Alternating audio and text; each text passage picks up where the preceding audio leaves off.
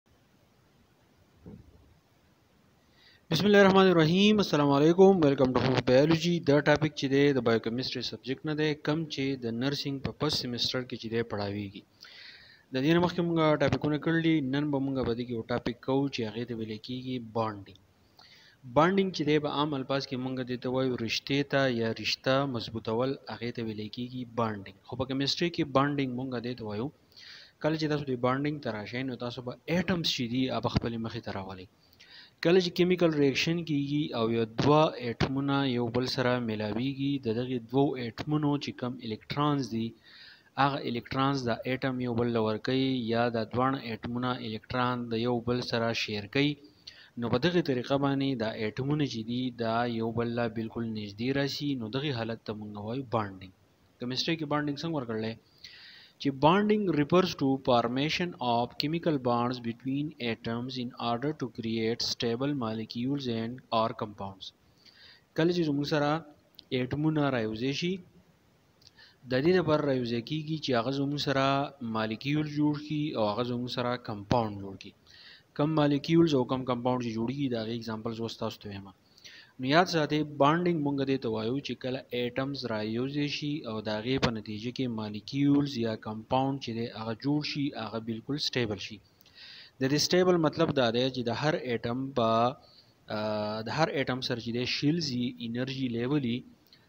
په هغه کې الکترون پراته وي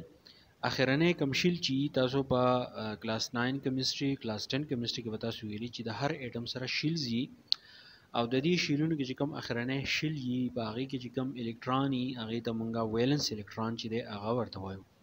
نو هر اټم دا کوشش کوي چې خپل ویلنس الکترون چې دی هغه پوره کی یعنی باخرنی شلګی خپل الکترون چې دی هغه پوره کی نو د دغه د پاره دوی د بل اټم سره ملاویږي دا غي سره کیمیکل ریاکشن دی او کله چې دوی د کیمیکل ریاکشنو کې دوه اټمونه یا درې اټمونه د یو بل سره راوځي شي نو دغه د مونږ وایو بانډینګ نو کیمیکل بانډز ار د فورسز وس کیمیکل بانډ اصل کې چې شری دا فورسز دي دا یو طاقت دی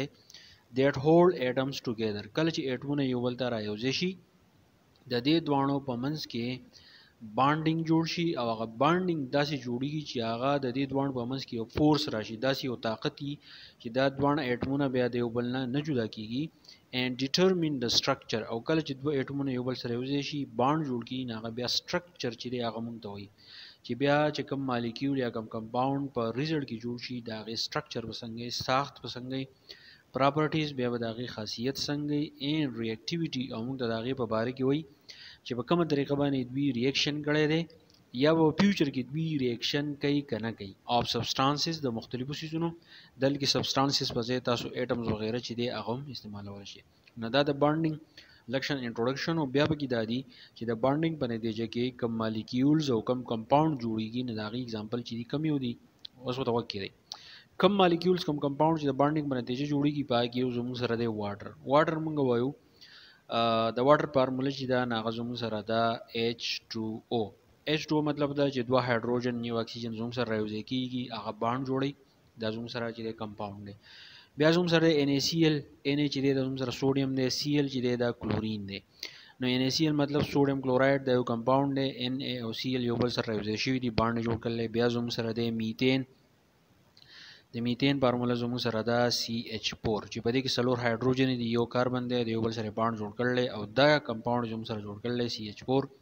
بیا زموږ سره کاربن ډای اکساید دی په کاربن ډای اکساید کې یو کاربن دی دوه کې اکسیجن دي دا دوه اکسیجن یو دا کاربن یو بل سره راوځي کیږي او دا غي په نتیجه کې زموږ سره کمپاوند جوړیږي او دا کاربن او دا اکسیجن په منځ کې چې بانډ جوړ شي بیا زموږ سره د ډای اکسیجن د ډای اکسیجن مطلب د او 2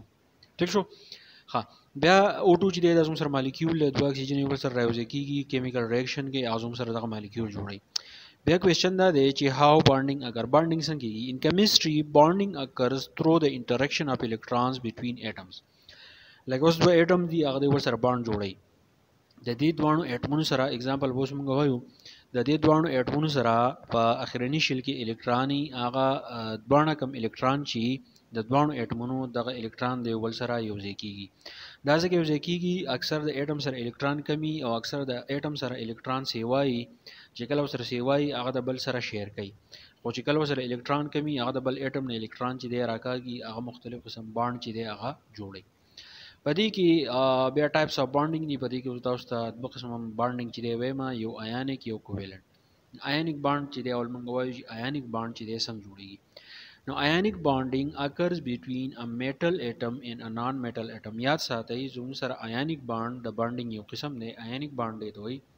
چې یو طرف ته زموږ سره یو اټم دی خو اټم چې دی هغه د میټل دی میټل موږ هر هغه سیس ته وایو چې د کم سیز نه بجلی پاس کیږي د کم سیز نه چې دی هیټ پاس کیږي هغه ته موږ وایو میټل بل طرف ته زموږ سره موجود دي نان میټل نان میټل موږ دی ته وایو چې د کم سیز نه نه بجلی پاس کیږي نه د هیټ پاس کیږي نن کله چې د میټل او د نان میټل د اټمونو په منځ کې باند جوړ شي نه هغه ته موږ آیونیک باند وایو په دې کې څه دي it involves the transfers of electron from one atom to another یاد ساتي آینیک بانډ داسې جوړیږي چې کله دواړه اټمونه دوه اټمونه یو بل سره راوځي شي نو په دې کې به د یو اټم سره الکترون کمی د بل سره به سیوای د کم سره چې الکترون کمی هغه به د بل نه الکترون مکمل تور چې دی هغه به ځان تراکاږي نو دغه ته مونږ وایو آیانیک بانډ د اټم دیټ لوزز الکترون بیکم ا پوزټیولی چارج آین کیټاین یاد ساتئ په الکترون باندې زموږ سره چې د نیگیټیو چارج په پروټون باندې زموږ سره پوزټیو چارج او موږ دا ویلي چې د الکترون او د پروټون تعداد چې دی هغه به برابري خو چې کله زموږ سره پروټون کم شو نو الکترون به سیوا شي د دې مطلب دا دی به د اټم به نیگیټیو چارج راشي خو چې کله د یو اټم نه الکترون لر شي نو پروټون به سیوا شي نو په دې باندې بیا پوزټیو چارج راځي نو ځکه وایي چې کم اټم الکترون ورکی بل اټم لا نو د سره الکترون تعداد کم شو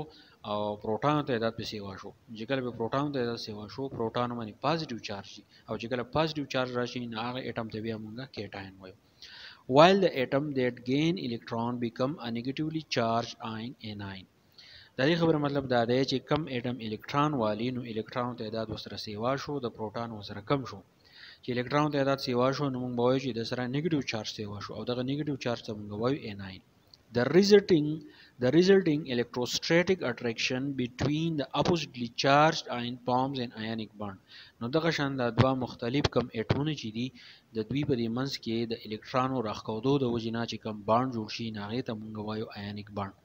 اوس موږ د دې اگزامپل کوو نو بیا به چې دی تاسو پوه شئ دا یو اگزامپل دی د NaCl NaCl موږ وایو سوډیم کلوراید دې طرف ته سوډیم دی دې طرف ته چې دی هغه کلورین دی ټیک شو اوس دلته کې د دې سوډیم سره د یو الکترون چې دی د سره سیوا دی خو بل طرف ته د دې کلورین سره دلته کې یو الکترون چې دی هغه کم دی ټیک شو په شیل کې زموږ سره دوه الکترون چې دی په کار دی یا زموږ سره اته الکترون چې دی هغه په کار دی که د سوډیم سره یو الکترون کم شي نو د سر باندې اثر چې دی نه پریوزي خو که پرز کا کلورین د الکترون والی د د اخرنې شیل چې دی هغه به کمپلیټ شي ځکه چې دلته کې تاسو سې کې د کلورین سره یو الکترون په اخرنې شیل کې د 2 د 3 د 4 د 5 د 6 او د 9 د ده سره په اخرني شل کې چې دی اووه الکتران دي نو دا له یو بل په کار دی چې کله ورسره یو بل لاشي نو هغې ته مونږ وایو چې د ده اکټکټ رول چې دی هغه کمپلیټ شو دلته کې د سوډیم سره دا یو الکتران دی د ده سره په شل کې بل الکتران چې دی هغه نشته نو چې کله د دا یو الکترون ورکی د کلورین لا نو د کلورین سره به اته الکترون چې د پوره شي نو د به سټیبل شي د دوه نمبر یو ځای شي د دې په نتیجه کې چې کم کمپاوند زوم سره جوړیږي نه زوم سره NaCl چې کوي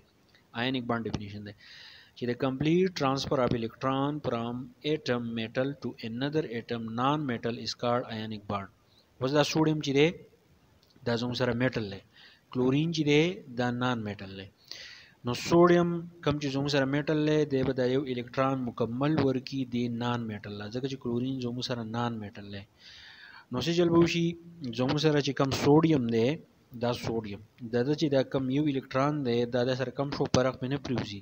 خو دی ولې دا یو الکترون دی کلورین لور کو نو د کلورین سره به دلته کې باخرنی شل کې اته الکترون چې دی هغه به پوره شي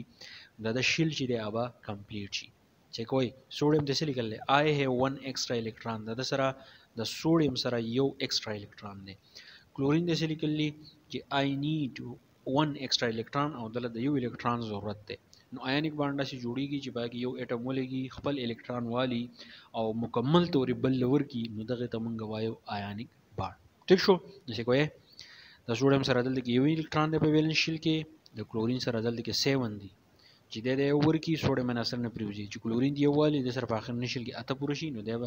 دا کم کمپاوند چې دا سټیبل شي ان ای سی ال شي دا مالګه دا کم چې موږ په ترکاری وغیرہ کې موږ استعمالو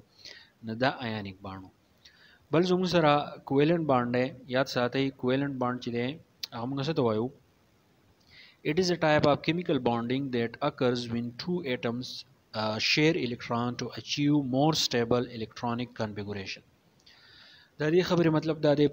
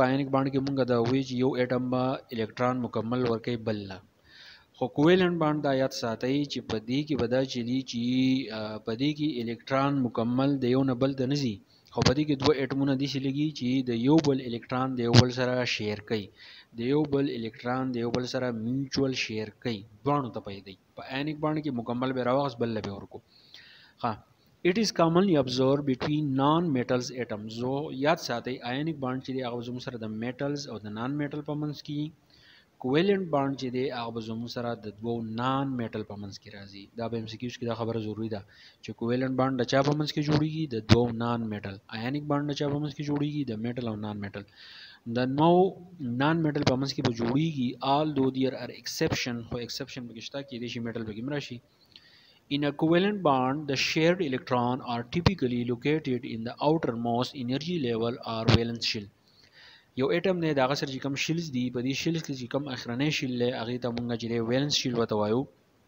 یو ته چې مونږ لاست انرژي لیول وایو نو چې کله دوه نان میټل الکترون دی ول سره شیر کوي نو دا به همیشه په اخرنی ویلنس شیل کې چې موجود وي of the atom is involved مطلب دا دی چې په اخرنی شیل کې به دا موجود وي او دا دوه نان میټل چې دي نو دوی به دا الکترون چې کوم دي نو دا به د یو بل سره سکه شیر کوي نو په دې طریقه به کویلنت بانډ چې دی هغه جوړیږي د دې اگزامپل چې دی اوس دا دی کوي یو نان میټل زموږ سره دا دی یو نان میټل چې دی هغه زموږ سره دا دی ټیک شو د دې نان میټل سره یو الکترون چې دی هغه دا دی دا څو دي دوه دوه څلور او دوه شپږ یو دا اوو دغه شان دوه دوه دوه او یو اوو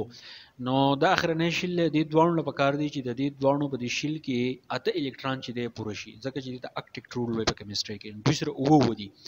نو دا دواړه به دا جوړ کړي دا دواړه نان میټل چې په اخرنی شل کې یو الکترون د د سره کم دی د دې نان میټل سره او یو الکترون په اخرنی شل کې د د سره کم دی نو دوی ودا چلو کې چې دا خپل اخرنی کم الکترون چې دا به یو بل سره شیر کی چې کله دا یو بل سره شیر کې دی خاصه کوي په دې ځکه کې